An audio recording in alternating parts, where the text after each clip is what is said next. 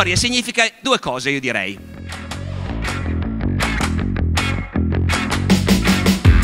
Uno, significa il campionario di tutte le cose che gli esseri umani hanno fatto in passato e stanno ancora facendo. È chiaro che la storia non si ripete mai uguale, per cui le situazioni cambiano sempre e non c'è nessuna legge storica precisa, non c'è nessun insegnamento che si possa formulare in modo così proprio chiaro che vale per sempre. Ma se non ti dà insegnamenti precisi, però ti dà una collezione di esempi. Voi immaginate in qualunque situazione vivere senza sapere se qualcuno prima si è già trovato in una situazione simile, oppure vivere sapendo che altri ci si sono già trovati fa una certa differenza, non risolve tutti i problemi, non ti garantisce di non fare anche tu un sacco di errori, ma ti dà una carta in più e te la dà a tutti i livelli, te la dà se sei il politico o il generale che deve prendere decisioni a nome di tutti, ma anche da, da persona normale che vive nel suo tempo, sapere se certi problemi si sono già presentati.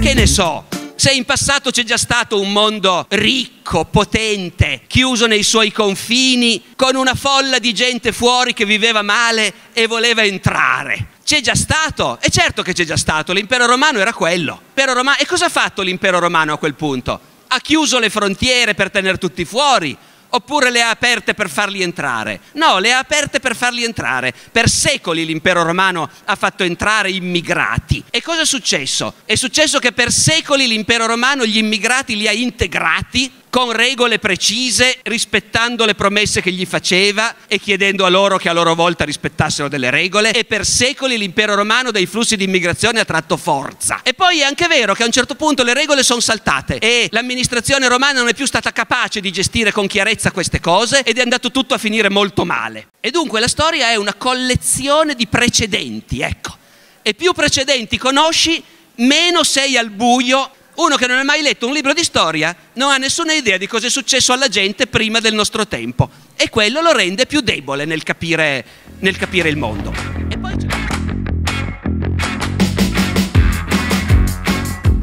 Poi c'è un'ultima cosa ed è il fatto che sapere la storia ti permette di mettere in prospettiva il nostro mondo, il nostro mondo, i suoi valori, le sue istituzioni. Un conto è considerarli come delle cose date, che ci sono sempre state. Un conto è sapere come sono venute fuori.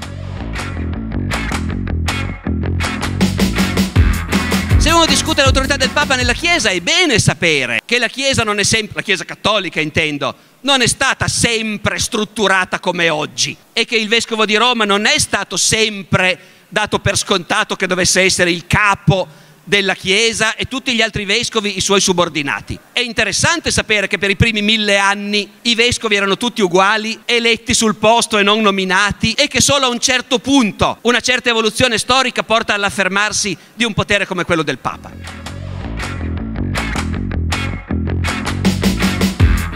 Se uno oggi dovesse discutere nella Chiesa cattolica il celibato dei preti, e beh, è diverso credere che ci sia sempre stato e sapere che invece è stato inventato a un certo punto, che per mille anni i preti si sono sposati tranquillamente e che solo dopo l'anno mille si è affermato un movimento che diceva no, non si devono sposare. E ripeto, non è per un partito preso eh, che parlo di cose religiose, ma forse sono gli esempi dove è più chiaro il fatto che rischi di vedere certe cose come sacre e invece quando le cali nella storia scopri che sono cose fatte dagli uomini.